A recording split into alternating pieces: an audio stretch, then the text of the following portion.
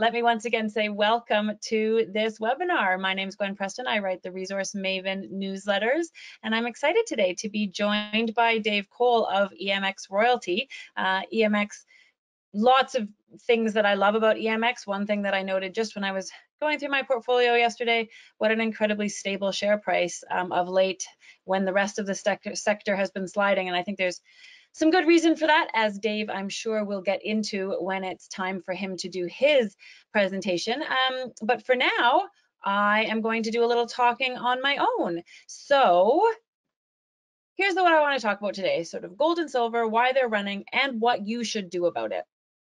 So um, I, am going to run through the fundamentals fairly quickly. I talk about this a lot in my newsletter. I think there has been a lot of talk in the last six, six months since COVID hit and interest rates were slammed to zero about why gold is performing, but it still deserves some comment because there's no point in investing in a sector unless there is fundamental reason to do so. And the primary fundamental reason right now is that we are in a very negative real rate situation and we are going to be there for a good period of time. This 10-year um, treasury um, inflation index chart shows you, it's a good proxy for real interest rates. So that's interest rates corrected for inflation. And you can see, you know, that first arrow points to when real rates started falling in 2016. That's when we got the first run of this bull market. Then rebounding real rates sort of hindered things for three years. Then you can see in 2019, real rates started falling again for a variety of reasons. So the gold market was already getting some momentum and then bam, COVID hit, interest rates were slammed to zero. Some inflation exists, the amount we could debate for some time, but that means that real rates are absolutely negative. And in terms of time frame, I think it's really important to remember it took the Federal Reserve seven years to raise interest rates following the great financial crisis, the last time they slammed rates down to zero.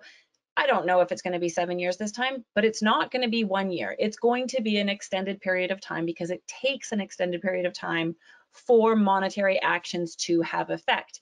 And so we are in a negative real rate environment and there's lots of reasons to believe that we will stay we will stay there and likely go lower for the years to come.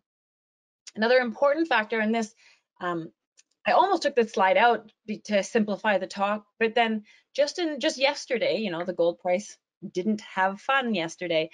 And why did the gold price struggle yesterday? Because the US dollar jumped. Why did the US dollar jump? Because the euro fell.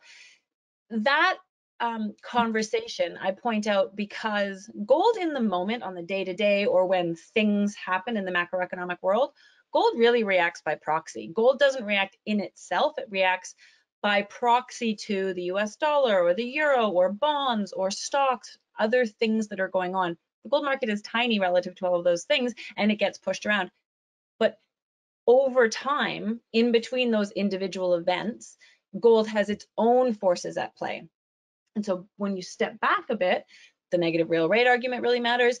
And bigger picture, rather than looking at day to day gyrations in the US dollar, there's a bigger picture reason to think that the days of ongoing US dollar strength are ending, whether you look at that because there's inflation coming from growth or money printing, from China reducing its reliance on the greenback, from the fact that the currency reserve currency status is is eroding in various ways over time because of debt loads, because of trade wars. There's good reason to believe, I think, that the US dollar has weaker days ahead and that will help gold. The other big and really important force that helps gold overall right now is that it is one of the only safe havens out there. The important thing here is the huge pools of low risk capital that used to own bonds, always owned bonds, they now have to play stocks. They've had to play stocks since the great financial crisis because bonds don't pay. And that's okay, except they are low risk pools of, of capital. So by definition, they have to hedge the risk in the stock market because even though the stock market is strong, the risks are very real. And there are very few options to hedge. Gold is one of the only ones that really steps forward to answer that question. So these are just examples of, I mean, the fact that bonds yield less than inflation and often come from extremely leveraged companies or governments. Um, that's why bonds don't pay. And there's lots of evidence out there of the risks to the stock market. I am not, I have no crystal ball about what the stock market will do. But I do have confidence that low risk capital needs to hedge its exposure to that market. Then I also just want to point out there's a bunch of things that are certainly important in the market right now. The US election, very dominant. COVID, also very dominant. The trade war has taken a bit of a step back, but really still simmering and will resurface when it's given an opportunity. And what I love, to be honest, about that is gold works no matter which way any of these situations go. No matter which presidential candidate wins, there will be stimulus, there will be inflation, and we will be in a zero interest rate environment. That means negative real rates. That means gold does well. If there's a rise in COVID cases, then we get a flight to safety and definitely a zero interest rate environment. If there's a drop in cases, then we get growth based inflation, but I'll tell you, still a zero interest rate environment for many years. Again, that works for gold. A trade war, same. If we get escalation, there's a flight to safety, there's more support for gold specifically from the Chinese. That works for gold. If there's de-escalation, then guess what? We should have faster growth, more inflation in a zero interest rate environment. So I think it really matters that gold is set up to succeed no matter how those important things turn out. Okay, so if all of these things are aligning and they all make so much sense, why is gold dipping right now? Really, it's because markets these days are absolutely dependent on stimulus and we don't know when that next package is going to come. The package that almost happened was taken off the table when Justice Ginsburg died, and now between the election, the likelihood of some form of lame duck period, whether because of changes in seats in the House and Congress and things like that, or because of a different president, we don't know when the next package is going to come. And so growth and inflation expectations are down, and that has direct impact on gold. Gold rose so significantly in July and August because inflation expectations rose. Um, and you can see that they're down. That's what I have circled on that five-year, five-year forward inflation expectation rate chart. Oh, is that a long enough name for a chart? Anyway, um, why else the dip? There's certainly some flight to the US dollar. Um, as a safety move and because the euro is weak. Why is the euro weak? Well, you know, that new daily coronavirus cases per million residents chart gives you one indication for sure, France being the outlier there. Uh, lockdowns are happening again in Europe, and that's the opposite of stimulus. And so that prompts euro weakness, which prompts dollar strength. Um, and overall COVID rising um, just puts everyone in that sort of step back and be worried position. If you want to focus a little bit more on the juniors in our space, um, there's a few other factors at play. Um, free trading dates are absolutely having an important effect. A huge number of companies raised capital May through August during that period of gold strength, and all of those shares are coming free to trade sort of September through December. So those free trade dates push back on gains that have happened in the four month period, especially if the financing had a warrant. You can see that happening in lots of share price charts out there. It's just part of the way that this market works, but it's an important force to be aware of. Super slow assay labs are also not helping. It's taking twice as long, if not longer, for companies to get their results. So investors get antsy, companies are bereft of news. That's just challenging for everyone. And profit taking. You can't begrudge some selling after a great summer from mining investors who've waited a long time for those kinds of gains. Overall, this bull market is going. And so the question that everyone needs to answer is how are you going to profit? And I've been, I would say, harping on about this a little bit of late, but I think it's really important. You don't have to be an expert to do well in a precious metals market. You do have to understand the forces enough to decide that you're in a bull market watch those forces enough to know when it starts to change, which I think is several years out. And then you have to know yourself. You have to decide how much time you want to commit to your portfolio and how much risk you want to take on. Then you can set expectations that you're going to meet. You'll have more fun and you'll be more successful if you play a game that's appropriate for you. The bottom line is that whether you trade explorers on a daily basis or whether you invest in major mining companies, it all works, everything in between. It just all works with different timelines, risks, and needs in terms of your portfolio. These are just examples. I mean, the GDX is up 42% year over year. That's not like from the COVID bottom, that's just year over year. That's a great gain. Evergold is an example of a stock that is an example of a high risk exploration stock. It was up 300%, but it's an exploration stock, so it's a roller coaster. They're very different games to play, so you have to decide which one is appropriate for you.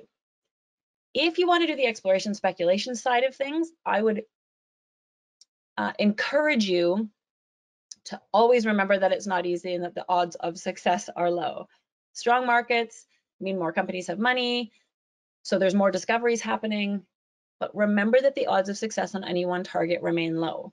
The way to um, balance that geologic risk is, I think, to demand that there's more than one strong target or project within a company, more kicks at the can, that the company has strong technical competence and rationale for the targets that they're pursuing. This isn't pick up a project and, oh, let's go drill it. This is a well-developed approach with um, appropriate expertise applied. And they have a business plan that makes sense. EMX is a great example of that, and I'm sure Dave will talk through that as part of his conversation shortly. But there needs to be a business plan, a plan to create value in the near, medium, and long term for investors. This isn't a science project. This is about making money. And a lot of companies, unfortunately, don't focus enough on the how are we going to make money side of it. So really uh, drill down on them for that. And then geology is risk enough. There's other risks that you want to make sure are managed, like permits, seasonality, access, marketing? Do they know how to tell their story and, and make it all happen? In addition, if you like explorers, I, I always like to say you have to stay engaged with the stock, but you have to make sure you don't get too attached. And part of that is you got to trade. You've got to buy in tranches. And then you have to use pressures, whether that's price gains on speculation, whether it's price falls on free trade dates, whether it's seasonal impacts, whether it's a spike because of a discovery you need to use those to lower your risk. You need to sell some or add based on movements in the stock. Don't get too attached. Remember, it's about making money. Participate in financings if that's possible for you for the warrant side of things and own a lot of stocks. It's just like how you want a single company to have multiple targets. You want your portfolio to have multiple companies because a basket has a better odds of uh, kicking out something that does really well. And I would say in that basket, you want to cover a range pre-discovery, discovery expansion, project generators, different geologies, right? Some porphyry, porphyry versus high-grade veins, the market reacts differently to different um, types of geologies and types of discoveries. The market also tends toward tends to like fall in love with a particular jurisdiction and then ease away from it. So just make sure that your portfolio has some scale and range to it. Right now, if you are a speculator, I think you should also be thinking about tax loss selling. It's been a volatile year. There's been slides in the last few months. If you if you're down on some positions, you probably want to lock in some of those losses to offset gains that hopefully you sold into when things were strong two months ago. We're also far enough ahead of the end of the year that if you sell now, you can rebuy in December and it won't be considered, you will still be able to use the loss a tax loss and you can reposition in those stocks at perhaps the same price. And then you can also use current weakness to um, add to favorites. Stocks that you like may well be on sale relative to a few months ago and to where the market is likely to go in the first quarter. Time your entry in those by paying attention to those pressures, the free trade dates, news flow, things like that. Um, and it is impossible to time when this market will bottom. So consider using tranches and stink bids. And then I just want to finish by saying, if all of that seems like a lot, it's because it is. Exploration speculation is a risky and time consuming game that requires a fair bit of knowledge, but you can build a buy and hold portfolio that will perform through this market and doesn't require much attention or carry much risk. Buy large mining companies. That's why Warren Buffett bought Barrick. Big money buys big companies with strong financials and good dividends. Big money is coming to gold. That's who they're going to buy. You can go for scale that also has extra growth upside because of um, uh, built-in organic growth profiles. You can look at royalty companies. We're clearly about to go through the royalty model with Dave here in a moment, but royalty companies are the lowest risk way to play the space, and royalty companies have outperformed miners in the bear bull market, in the bear market, and in the bull market. It's a pretty solid track record. It's hard to argue with that. You can play optionality. Big assets are specifically hated in bear markets. But once a bull market gets going, because they're so expensive to advance, but once a bull market gets to the point where big companies need to start bu buying the big assets that will enable them to stay big, there's hardly any big projects left on the table because they were so hated. And so everybody suddenly starts chasing the few big assets that are around. You can look for takeout targets. That's a that's another side of the optionality thing. And make sure you don't ignore silver. Silver usually outperforms gold in every bull market. End of the day, we're set up for a few very exciting years in gold and silver. Corrections like we're in right now are part of the process. So I encourage you to consider how much focus and risk you want to commit. There's no right answer, there's just a right answer for you. And then with that answer, build a portfolio that works, that will be satisfying, um, and that makes sense for um, for your parameters. And then stick to that plan. Try not to have fear of missing out because you see, you know, an exploration stock spike. If that's not your game, that's not your game. And then find a few good sources of information. I think that's really important. I'm also somewhat biased because I uh, try to position myself as precisely that. I write newsletters about what I am buying, selling, and thinking to help investors profit from metals and mining. So with that, I have said what I would like to say, and I would love to hand the um, mic, so to speak, over to Dave to run us through the EMX story, um, which is a story that I've been invested in for a very long time um, and remain committed to because uh, in my from my from where I stand, it just keeps getting better. Dave. Thank you very much, Gwen. That was an excellent summary. Yeah, fabulous. Your readership is uh, lucky to have that advice, in my view. So, um, EMX Royalty Corporation, we've been around for 17 years now. And um, you you spoke to the attributes of the business model. You know I'm passionate about that, Gwen. So you know, I'll go into some detail about that. Uh, we've gone back and, and, calculated our compounded annual growth rate of our share price uh, throughout our history as part of our analysis of our business and and thinking about what works and what doesn't work and how we fine tune this model over time. And we've been public for 17 years. Um, our compounded annual growth rate over that 17 year period uh, is right around 17 percent. Um, and we're quite proud of that. And as Gwen said, you know, the royalty companies have outperformed in various markets and, and throughout the cycles now for for a few different cycles and a few different a few combined decades. That speaks to the fact that royalties are phenomenal financial instruments. And that's due to their embedded optionality, um, commodity price optionality, of course, which over the long haul is usually positive but very importantly, discovery optionality, engineering advancement optionality, new metallurgical technology, invention optionality, if you will, all these different things that are that compound that are to the royalty holder's benefit because in most cases royalties are a slice off the gross revenue and require no additional capital to be put in once they're owned. And there's a variety of different ways that you can obtain royalties, of course, and we'll talk about that when we go into details about um, how EMX approaches this for it to be particularly astute allocation of capital with respect to growing the royalty portfolio. But let's zero in on the slide right now. Um, this is obviously cherry picked. It's cherry picked to the beginning of the bull market that we're in right now, which was roughly the end of 2015, January 2016, for five years to, to approximately today. This is a few days out of date, but not too bad. And over that period, we've had a 35% compounded annual growth rate over five years, which is excellent. Um, I'm of the opinion that we're still distinctly undervalued relative to the optionality and the royalties that we have embedded in our portfolio today. So we have a chance for this um, this uh, repricing, positive repricing of EMX to continue into the future as we grow this portfolio. But but taking out this cherry picked um, cycle graph and, looking at the whole history of the company, it's been 17% compounded annual growth rate um, from the very beginning. And um, you know, if you if you did that same calculation for the other major royalty companies, they typically are nice positive numbers. And when you do a comparative analysis to the producers, you'll see that um, um, the royalty companies have outperformed for the reasons that I've just mentioned. So let's go and talk about the business model and how we approach the royalty business is definitely unique as compared to our competitors.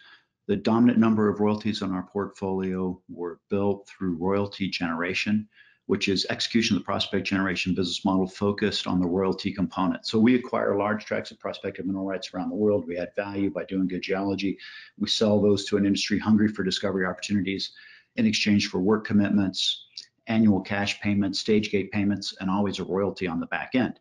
We also get shares um, when we do deals with junior companies, and we've done very, very well with the shares that we have been paid uh, over the years to help augment our treasury. And to um, um, augment this portfolio that we grow organically, the same team of economic geologists that are out executing this business model around the world are also looking for royalties to buy. And some of the key royalties we have in our portfolio, we were able to buy. And uh, make no mistake about it, buying royalties is an extraordinarily competitive space. And uh, everybody understands that they have immense value long term. Uh, and so they tend to trade at um, quite high prices and high valuations. So it's really by utilizing economic geology skill sets um, and, and business acumen that we're able to, that's our alpha, that we're able to identify key royalties to buy uh, that, uh, based upon our interpretation, actually look like good value. And we really focus on that. And, and I will entirely admit that the royalty space of recent has been a momentum game. People have been paying nearly any price that they can to be able to accumulate and build a portfolio and make news releases. Uh, we're a value player within that space. I joked with Gwen before that, you know, we're a value player in a momentum game, uh, which has its challenges, but that that's our that's our core um, uh, instinct uh, and value, if you will. Our our, va- our value is to be a value player, and uh, we approach this from the standpoint that it's all about astute allocation of capital. I know that I can grow royalties through the organic methodology very inexpensively long term. And um, um, if we can knock off some royalty purchases along the way that are accretive, more power to us. The, the third thing that we do that makes us unique is the fact that that same team also identifies strategic investment opportunities. And there's excellent synergy because the same guys that are doing the organic growth, they're in Finland, Norway, Sweden, uh, Arizona, Nevada, finding opportunities to to acquire, to to build up and to sell and keep royalties. They say, hey, we need to own this company's stock. And so we've made a dozen or more strategic investments in our history. And our return on allocated capital to this portion of our business uh, has been fantastic. It's a 40% internal rate of return after tax, which is excellent. And uh, that uh, it is liquidations of various strategic investments throughout our history that put us in a very strong financial position today. Uh, so we're sitting here with 54 million Canadian dollars in the bank, a portfolio of tradable securities that we have either invested in or have been paid to us part and parcel to our deals that's uh, worth in excess of 20 million uh, Canadian dollars in round numbers today, plus some long-term investments on top of that that um, accumulate up to more money and working capital or equal, roughly equal to all the money we've raised in the entire history of the company. In addition to the 250 mineral property assets that we have, uh, of which roughly 150 of those are now royalties. So that's definitive that this business model works. Uh, we've executed this model and fine tuned it over the course of multiple cycles and uh, continue to accrete value. So let's take a look at the global uh, map for EMX. I did hit the advance button and it didn't move, so maybe it's not working now you guys can go ahead and next it for me if you'd like. There it goes. Hopefully it's not delayed and it doesn't flip through a couple of pages. it wouldn't surprise me. The uh, so this is our global map, and you can see from this map that you know we're quite active in the Western United States. We have ex- we have uh, um, uh, partial ownership through royalties or 100% ownership of over 10,000 mining claims in the Western United States, with big holdings in in Arizona. I believe we're the third largest mineral rights holder in Arizona and the big copper belts there right in and around some of the big discoveries uh, that have been made in huge copper mines in Arizona. Likewise, in the gold fields of, of uh, Nevada. And then recently, we purchased a portfolio from Perry English, who's a private prospect generator, executing a similar business model to ours, but on a private basis. And he was nearing retirement and sold us his entire portfolio in the in the Superior Geologic Province, which is in the um, uh, Ontario and Quebec um, provinces of Canada. So we're now happy to have a solid footprint with over 60 mineral property assets in Canada, and we tend to utilize that as a springboard for, con for continued organic growth. Um, as we believe that Central and Eastern Canada is an excellent place uh, to have exposure, we were looking for the right catalyst to be able to do that. And speaking of catalysts to build upon, we also bought quite inexpensively. Um, I should point out, by the way, before I move on, that the Perry English portfolio has a payback of three and a half years. And uh, this speaks to the concept of us, you know, being very careful about how we're allocating capital here. And that payback is achieved through pre-production payments and share payments that come in part and parcel to the deals uh, that are within that portfolio. So it'll be positive cash flow actually within three and a half years. So another uh, portfolio we bought very astutely, very, very inexpensively that gives us exposure to some fantastic um, um, belts of, of, of, mineral endowment in Chile is the portfolio we bought from Revelo. Uh, Revelo was a struggling prospect generator that had uh, 18 royalties on their books, and they sold that off to us, and, and, we're delighted to have those and be able to carry those forward. And, and uh, we got them uh, at a very nice price. And likewise, we'll use that as a springboard to continue to build our portfolio in South America and execute the business model.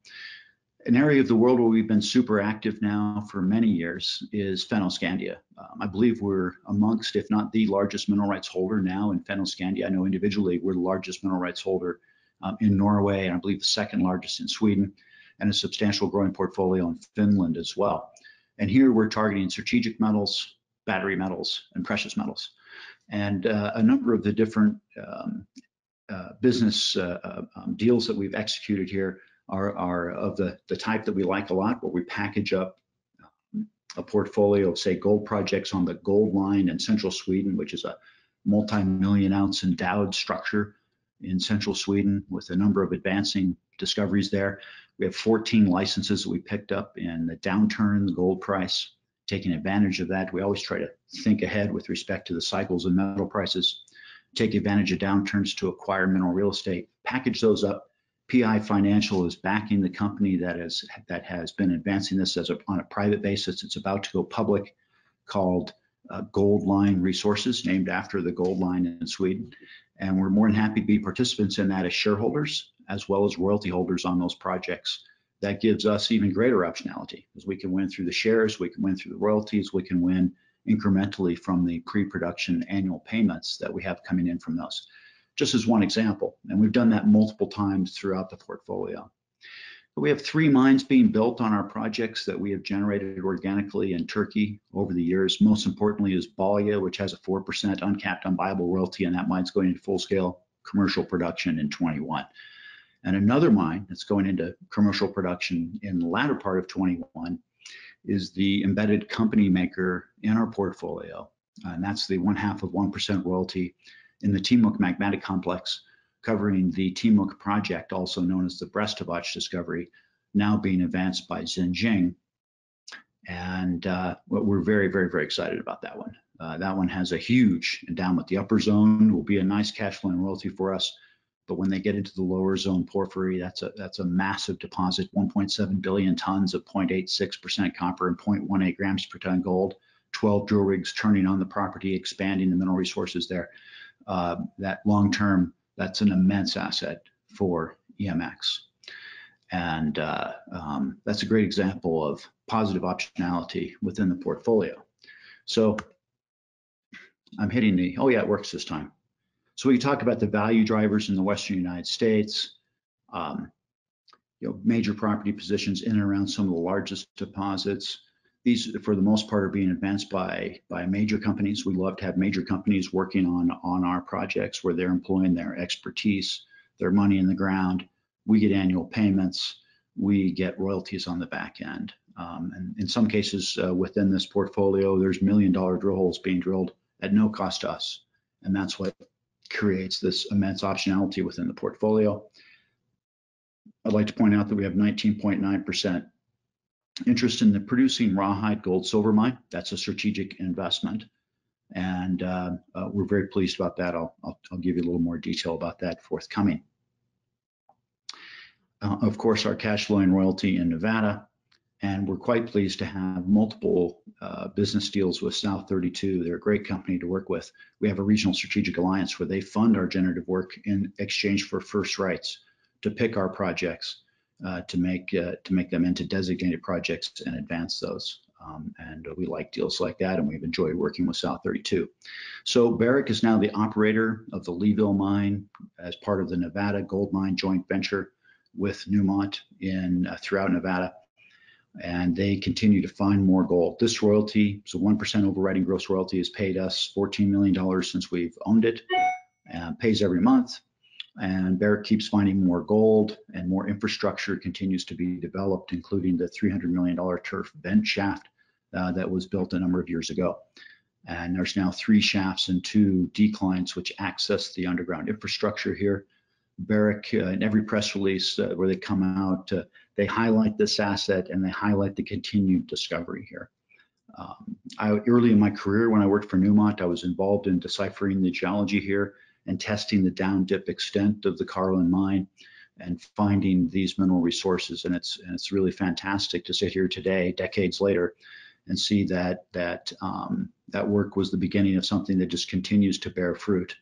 And I'm delighted to to be a recipient of that now with a royalty on this property. So um, that's that's that's super. Barrick, um, I encourage you to go to the Nevada Gold Mines website, look at their PowerPoint presentation, and you can see the updates that they give on this property. Long term, uh, that's going to be a key asset for us. We bought the 19.9% interest in Rawhide um, at $1,400 gold, we thought it was an excellent investment at that point in time. Subsequent to that, the Regent deposit, which is the next open pit to be advanced within that district, came into production um, uh, without uh, too many hiccups. And uh, we're now pouring about 125 ounces of doré a day on average um, at this operation. And I can tell you that at $1,900 gold, uh, this is just a phenomenal investment. Unfortunately, it does not it does not have a, yet a 43101 report, so I can't give specifics about cost and the resource and whatnot. That'll be forthcoming once the 43101 report is completed. Uh, but uh, you know, we have a, a, a, average of 40% internal rate of return on our invested capital through our strategic investments, and I don't think this one's going to hurt that number. And uh, uh so, you know, we're looking forward to that to um, um, different business maneuvers, including just dividends coming from it but also the potential to roll this into a public company or do other business transactions uh, where we can actuate value uh, more quickly. The um, um, you heard me talk about the portfolio we acquired in Canada. Delighted to be a Canadian company with Canadian assets now, and uh, we have some good expertise um, there that is going to continue to springboard this forward. Lots of great names for counterparties here that are working on our assets this pays for itself in three and a half years.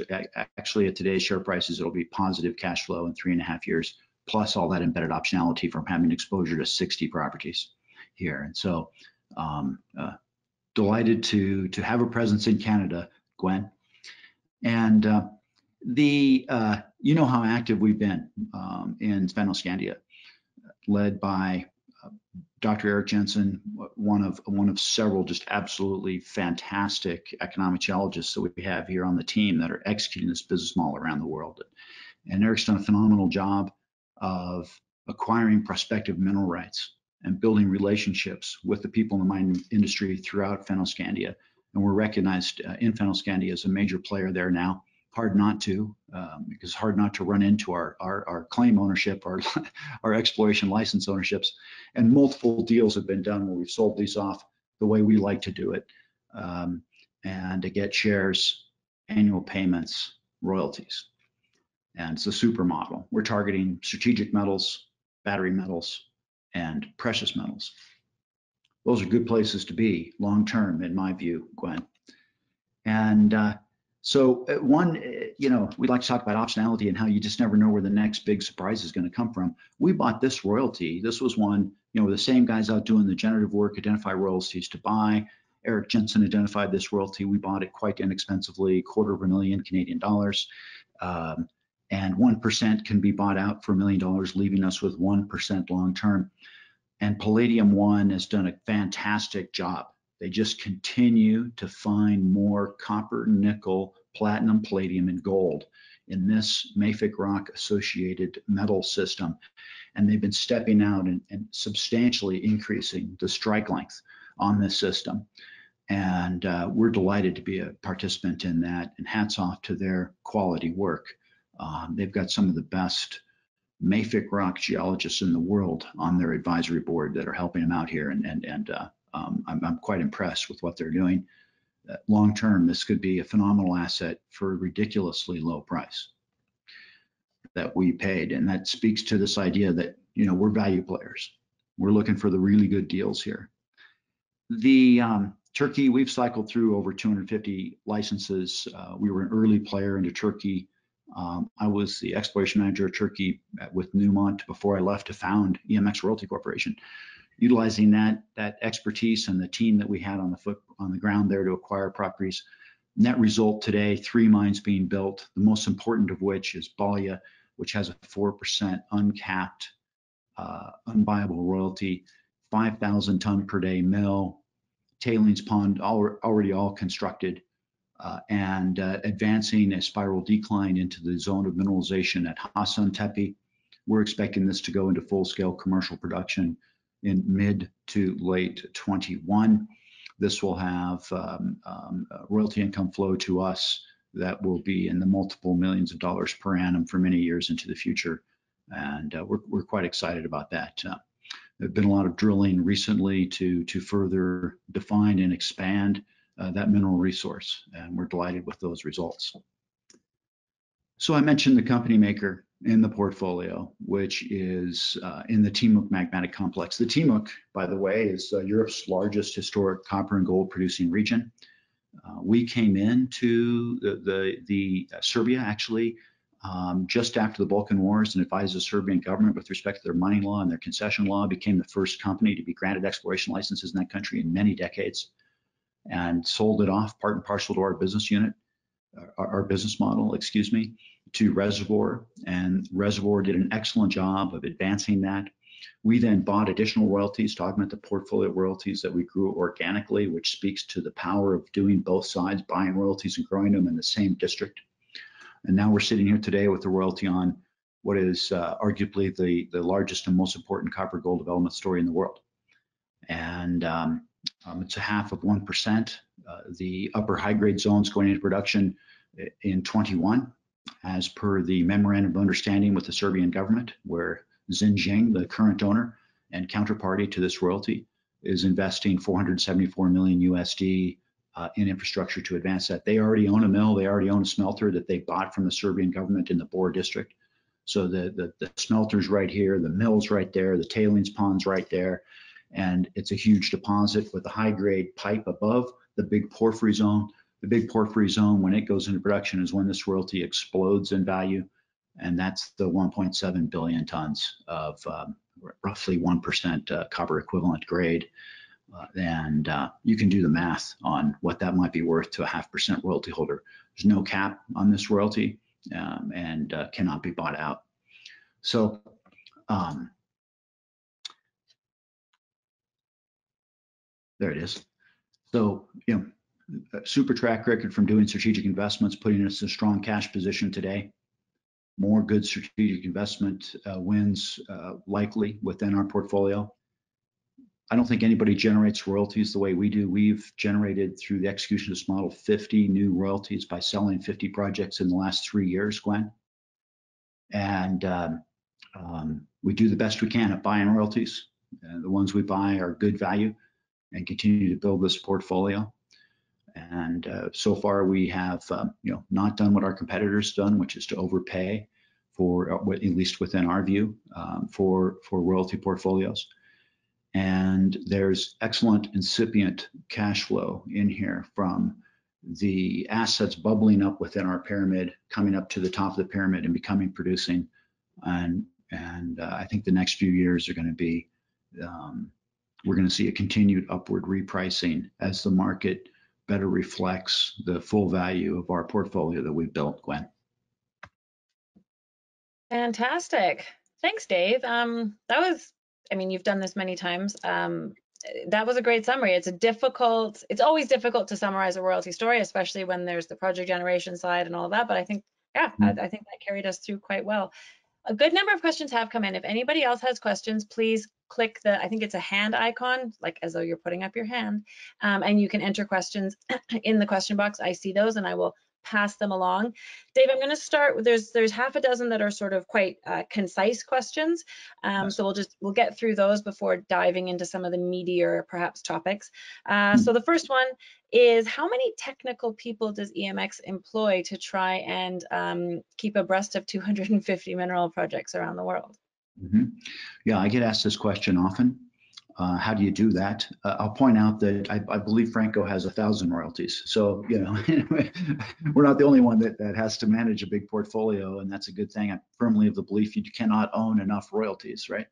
Uh, when they when they're in capable counterparties' hands and you have well-written documents, and then you have that into a, um, a, um, a, a proper program that manages those and flags the dates of which payments are due, and work commitments have to be completed by and whatnot, and you have somebody who's following up on that within the broader context of the legal commercial team, uh, then it's not as onerous as it sounds, but it definitely requires people to pay attention.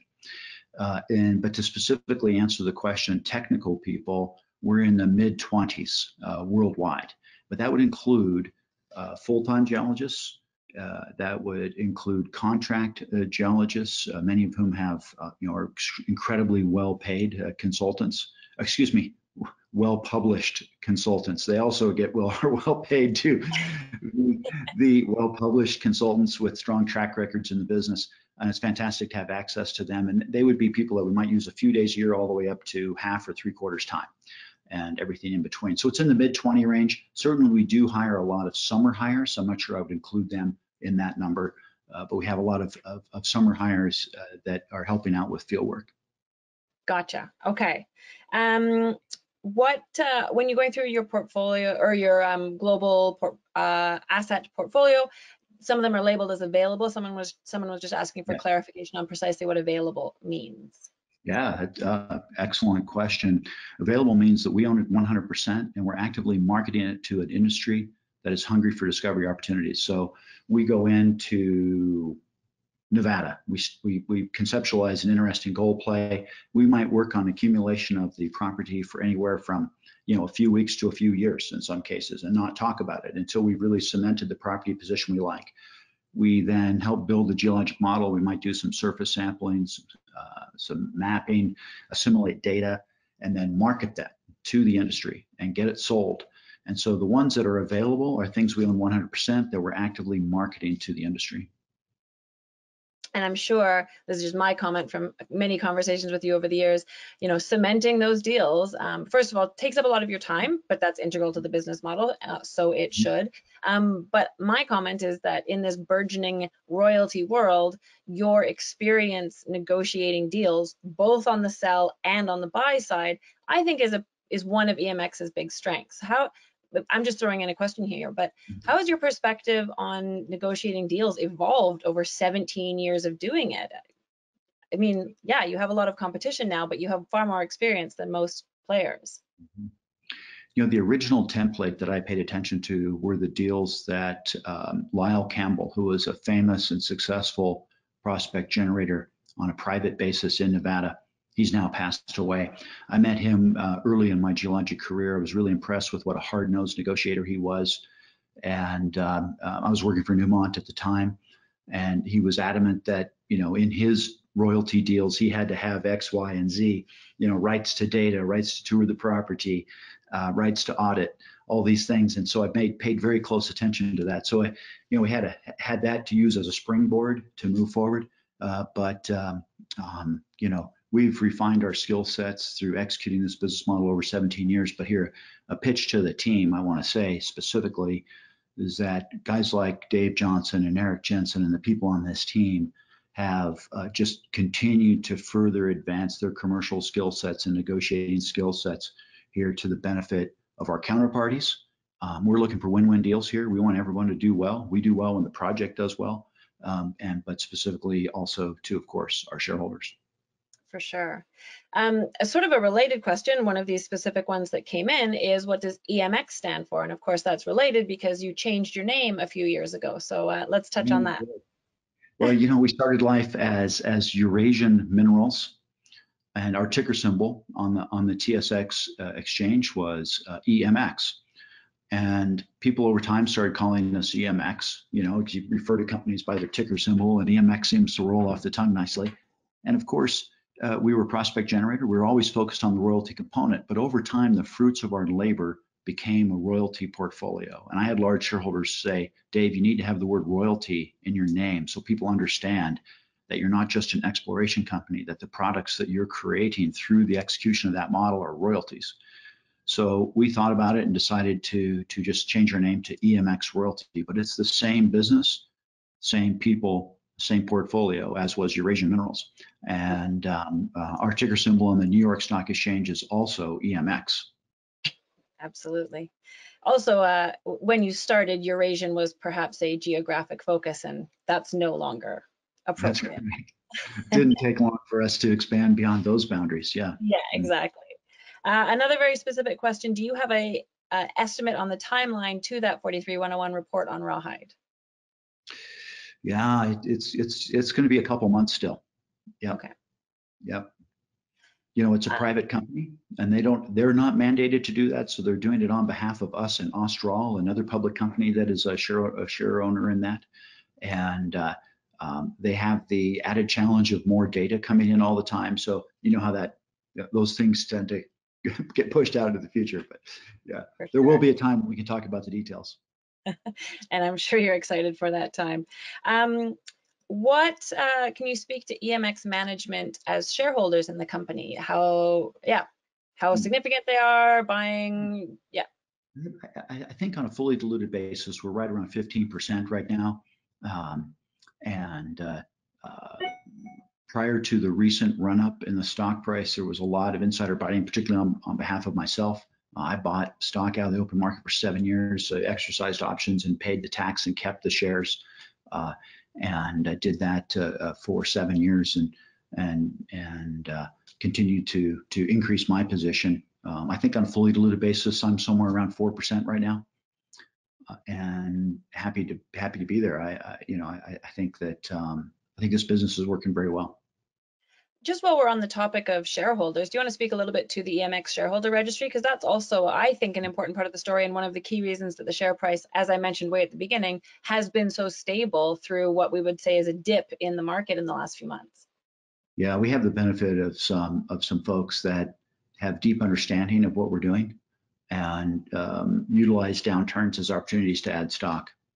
And um, you know, Paul Stephens will be top of the list. He's our largest shareholder, uh, and he has accumulated the bulk of his shares. Almost all of them have been off the open market, and he controls. I I, I estimate that to be around 15% in various accounts that he has. Uh, and uh, he's an aficionado of of the royalty business. Um, he was an early shareholder in Franco and he likes to expound upon what a great uh, success that it was. And and I believe he's bought and sold Franco a few times and tripled it each time in, in his career. And, and, he likes to talk about that. Uh, um, you know, uh, owning royalties is powerful. Um, and then of course there's Rick Rule and his whole group and all the followers at at Sprott Global. Uh, they accumulate up to a big number.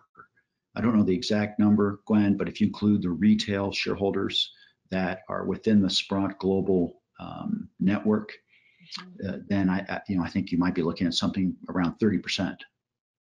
Yeah, yeah, I would say it's a pretty tightly held stock. There's not a lot of loose uh, loose shares available out there. And um, my alma mater, Newmont Mining Corporation, they own close to six percent. I think 5.8, something like that. Uh, they've participated in a few different private placements, and we're delighted to have Newmont uh, as a shareholder. Okay, uh, another specific question, but it gets a little bit towards uh, some other topics. So current mm -hmm. annual cash flow and what does it cover in terms of your expenses? Yeah, so I knew you were going to ask that. So I actually had a CFO. I actually, somebody else asked it. I would have asked it anyway. Somebody else said the question. the um, yeah, so right now we have 54 million Canadian dollars in cash, and as I mentioned, you know, I think the the um, um, I think the, the tradable securities uh, roughly $20 million right now. The uh, but cash flow is the question. So um, three and a half million dollars coming from royalties and and stage gate payments. Uh, that does not include share payments. Share payments um, so far in the last 12 months uh, add up to uh, about a million, another million and a half on top of that. So that putting it close to $5 million. Um, then we have expenditures that are recovered from partners. So we're doing the work, but they're paying us back. That's not actually income, but just for the sake of knowledge, because we like to talk about the amount of money that other people are spending on our properties to help advance them. That's in the um, that's in the um, uh, right around the 10 or 11 million dollar range in Canadian dollars uh, over the last 12 months. So that does not include the work that is being done by somebody like Zijin, where they're spending money directly into the project. Are, those are the ones where we're spending the money on the property and then get it reimbursed. So put those into different baskets. It's a complicated uh, business with multiple facets, and so money's come into different different uh, spots. And so I know this is a topic that you and I have reviewed um, many times. Uh, but then, you know, when it comes down to to how does that pan out from the recurring income, not just the big gains we make on strategic investments. If you include the strategic investing gains, for example, the big one we had at the, at the end of 2018, then we've been positive cash flow for a long time.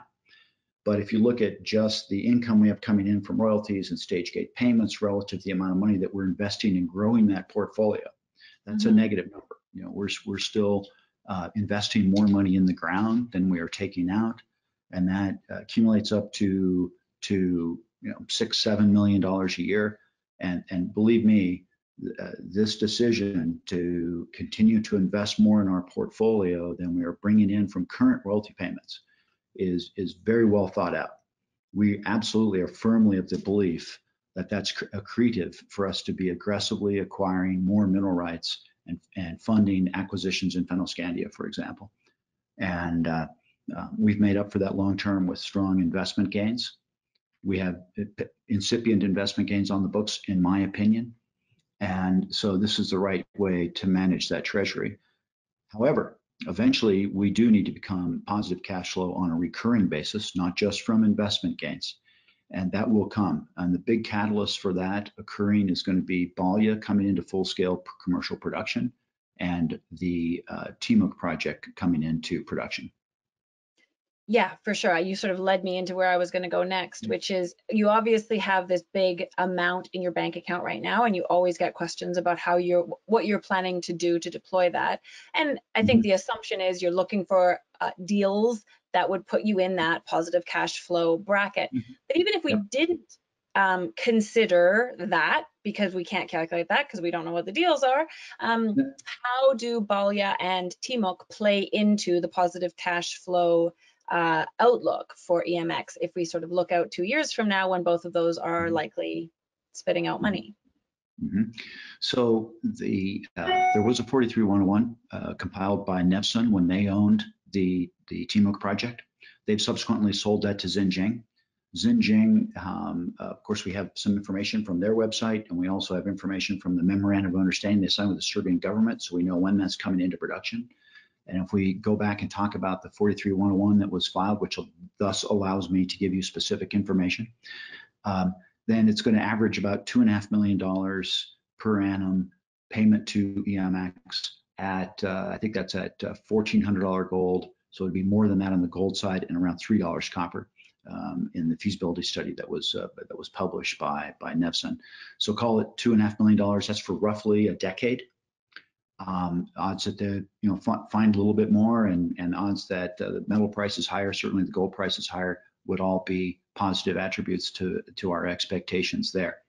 Uh, but the big money comes in when they get into the lower zone. There's no published date for when that will occur, uh, but uh, uh, you know we all know the Chinese are aggressive. So we think that's likely to occur sooner rather than later. Now, with respect to Balya, there's no 43101 document, so I can't give specifics, but I can say that it's a 5,000 ton per day mill. We're expecting the ores uh, that come from our side, the royalty burden side of the of the district, um, where they're going to be mining at very shallow levels as compared to the other side where they've mined the deposit out to 800 meters depth. Uh, that same body of mineralization transects across the border. There was a combination of the two projects together that's beneficial to us as royalty holders. Now we can take advantage of that infrastructure with respect to the tailings pond, the mill, et cetera, as well as the expertise on the metallurgical side Uh, these ores have already been tested and run through the mill, so we're very confident in their incipient recovery. They tend to average, they blend actually to average an 8% head grade, 8% combined lead zinc. It usually has about an 80 gram per ton silver credit. So if you do the math on uh, 5,000 tons per day, and let's say they're you know able to achieve that 300 days a year or 320 days a year, mm-hmm. and you pick your your lead and zinc price, maybe average around a buck a pound, and you pick your silver price, and you think about smelter fees, um, that works out to uh, two to five million dollars a year to EMX, um, uh, closer to the bigger number once in full-scale commercial production. Uh, but uh, we can't really give specifics until we have, um, you know, the, the 43101 document because they're once again they're a private Turkish company. They don't have to produce that. Um, but uh, of course, we'll be able to report when they uh, get the quarterly checks how much the checks are. I look forward to that date. Yeah, but it's a it's a big uh, carbonate replacement deposit, great grades. We've announced the drill holes. We'll announce more drill holes. So it's it's not rocket science. Uh, you can do volumetrics by looking at the footprint and the zinc equivalent uh, numbers that we've put out on our website, um, and you can see the breadth of that mineralization. It continues to grow. And what's the sort of timeline for Balya? Just uh, yeah, they they've been slowed up by COVID a little bit, but not a lot. They were originally talking about first quarter of 21. I think I'm you know I'm gonna say now second, maybe third quarter. Mm-hmm. Okay, so actually Timok, Upper Zone, and Balya, uh, roughly this I mean the same year coming into production. By the, by the end of the year, correct. Yeah. So what? So if you know, just taking ballpark numbers, you got three and a half million in recurring in, income right now. You're spending six to seven. These two are coming online. Looks yeah. like they would the gap. So even without a deal, it's likely that you'll be neutral um, yeah. if you maintain current spending um, in 18 months ish from now. Um, obviously, there's ramp ups, there's questions. Um, so that's an interesting um, foundation um, yes. again that you stand in as you make decisions about this big bank account. And I know this is obviously an important question, and you get it all the time about what you're going to mm-hmm. do with this money to um, to create value for shareholders. Um, I don't want to ask you about what you're looking at because you're not going to talk about what you're looking at. One of EMX's strengths is thinking outside of the box. And if you tell us all what you're thinking, then other people will jump in the box with you. So it wouldn't work very well. Yeah, um, I'm happy. Yeah, that's okay. But do you want to talk also, uh, whatever you can say in that sense, but also maybe about the sort of scale or um, or type of deal that you're looking at um, that you think would would make a difference to EMX's valuation. I mean, EMX is to me on that cusp of re-rating in the royalty space because of this proximity to free cash flow. So just talk a little bit about how those pieces all fit together um, to try and get EMX re-rated into the next tier of royalty companies. Yeah, so it's nice to be in a position where we have the money in the bank so that we, uh, you know, have this problem, right? So the, we're thinking about, you know, how do we allocate that capital? And, um, um, you know, we're value players. Uh, that's core to our core to our approach. Um, and we would value current cash flow because I think the catalyst here that you're uh, alluding to correctly is more cash flow is going to quicken the repricing event. And so certainly we're prioritizing that. Uh, that doesn't come inexpensively and we're not keen to overpay. So that becomes a catch 22. Uh, but we're, you know, continuing to review the landscape of the world, uh, and we love gold. Everybody loves gold. Uh, we love copper long term. We're very bullish copper. We're very bullish copper long term. And uh, strategic metals, um, you know, and you can question what those are, but you know, certainly we like sulfide nickel. You know, we think that's a great place to be. And um, uh, the the uh, EV trend is real. You know, there's going to be more batteries built, and there's a lot of nickel in batteries. So there's a lot of copper in batteries, and there's a lot of copper that you know is in all forms of the infrastructure that are needed for the EV revolution, as well as everything else that copper goes into. So these these these are uh, great metals for us to be exposed to. So I think this continued increase in the presence on precious metals, strategic metals, and battery metals. And uh, any way that we can do that through our organic growth, through the acquisition of royalties, uh, most important to us is that the capital is astutely allocated. Um, we're prioritizing cash flow, but not to the point that we'll do something that is, we believe, inappropriate. Mm-hmm. Well, I mean, it's kind of interesting. The the royalty space has absolutely ballooned in the last decade. Uh, I thought it had already done so by the end of 2019, and then in 2020, it has just taken Mm-hmm. gone to the next level in terms of the number of companies who are out there. Um, so, I mean, a similar question with, that came in is how does EMX compete if you don't want to overpay? Um, and I think what was the other thing I was just about to say? Oh yeah, part of that to me is perhaps your strategic investment angle that has paid out very well. That's been an important part of your business model. So Mhm. I would guess that a balance between strategic investments and royalty deals is part of the calculation that you're going through as you as you look at opportunities. You know, and an interesting example of us thinking laterally along the lines you're talking about is our investment in Millrock. Um, they're doing a great job uh, working as a prospect generator in Alaska. And we did a deal where we got royalties in addition to equity position. Um, and we think that was a, a quite good allocation of capital. And we love to invest in good people. And Greg Beischer's doing a great job there. So uh, that's one example, thinking laterally and, and doing a strategic investment that's paralleled with a royalty acquisition. Um, we're happy to explore other possibilities like that. Uh, but uh, you know, it really comes down to utilizing our our um, because the most important long-term value creator of a royalty is discovery optionality, and that comes back to economic geology expertise, and that's our alpha. Fair enough.